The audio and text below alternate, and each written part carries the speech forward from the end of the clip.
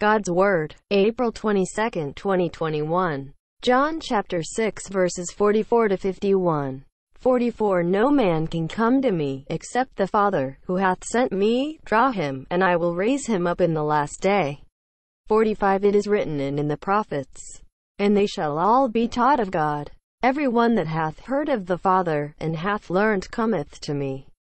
46 Not that any man hath seen the Father, but he who is of God, he hath seen the Father. 47 Amen. Amen I say unto you, he that believeth in me, hath everlasting life.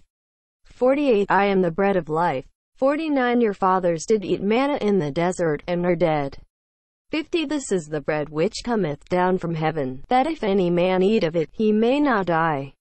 51 I am the living bread which came down from heaven. If any man eat of this bread, he shall live forever, and the bread that I will give is my flesh for the life of the world.